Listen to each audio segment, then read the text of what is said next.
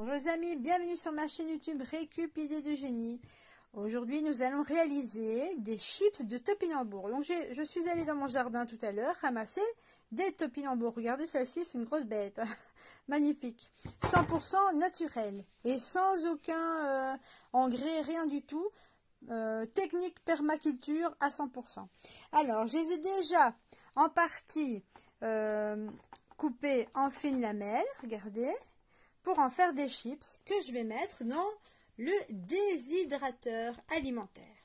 Donc pour cela, on va retirer les premières. Je vais juste garder la première. Voilà, je bafouille. Et je viens tout simplement déposer mes, topinambours. Je vais y arriver. Mes topinambours. Alors, bien pièce par pièce. Donc, comme ça, je vais avoir de bonnes chips 100% naturelles. Au moins, je sais ce que je vais manger. Alors, dans les topinambours, donc, je n'ai pas retiré partout euh, la peau. J'ai juste retiré euh, celle où... Euh, bon, c'était vraiment impossible avec le couteau. C'est pas évident.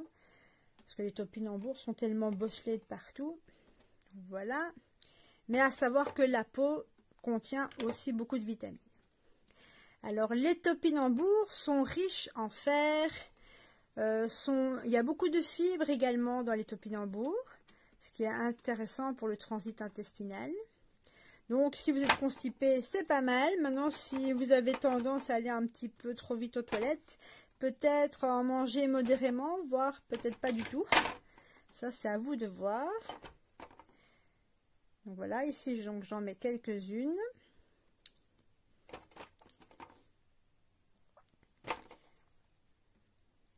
Voilà, et maintenant je vais mettre le prochain étage.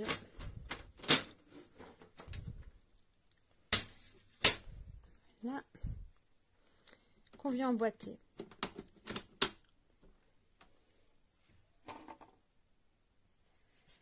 Donc voilà, ici j'ai déjà commencé, comme vous venez de le voir, et je vais vous montrer avec ma râpe multifonction.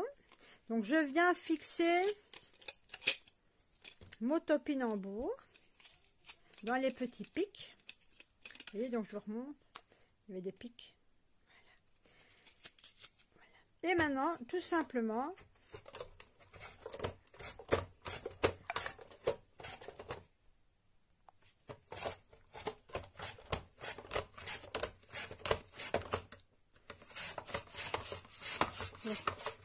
Bien sûr, je ne vais pas faire tout à la vidéo, hein, parce que sinon ça va vous embêter.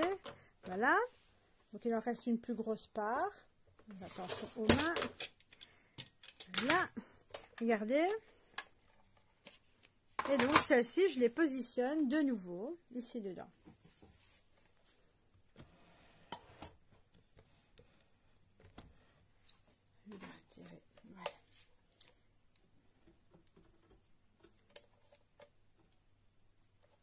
Tu vas avoir de belles chips. Hein.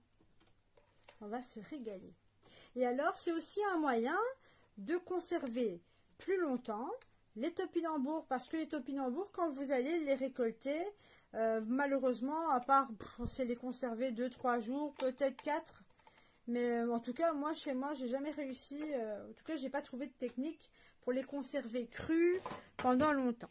Donc voilà, je poursuis et on, on passera à l'étape suivante lorsque je vais allumer le déshydrateur.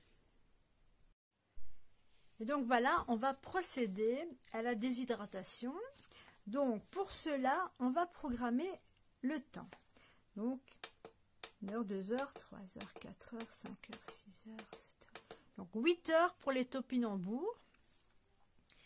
Alors, on va juste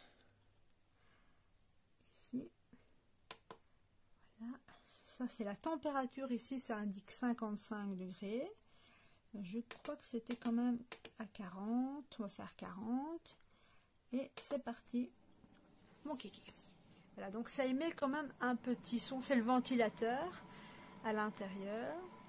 Donc alors, si en temps de cuisson, vous trouvez que c'est trop long, il y a moyen de diminuer, diminuer la durée. Si vous trouvez que c'est pas assez fort, en tout cas, on sent déjà, Si ce n'est pas assez fort, on peut mettre à plus de 40 degrés.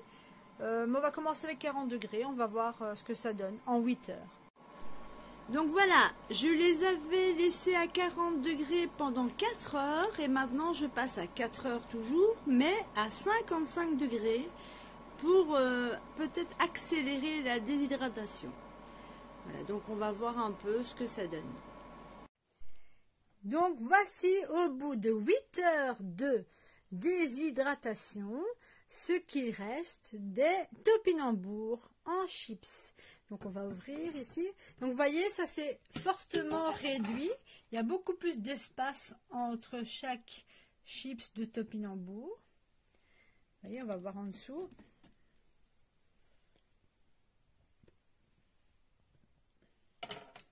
On a des plus foncés. Alors, euh, c'est un petit peu caoutchouteux, je vais dire. On sent vraiment le goût du topinambour. Mais franchement, en soi, c'est pas mal. Je vois.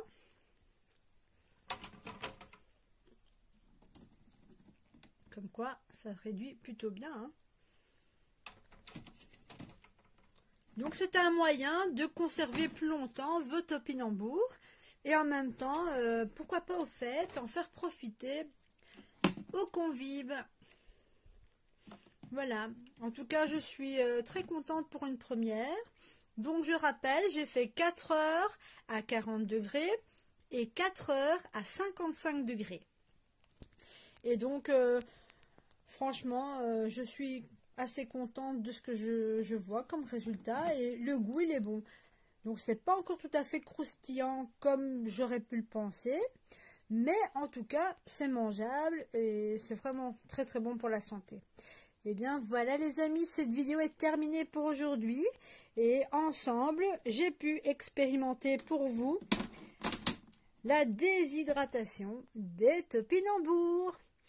Eh bien, passez d'excellentes fêtes de fin d'année et surtout portez-vous bien. À très bientôt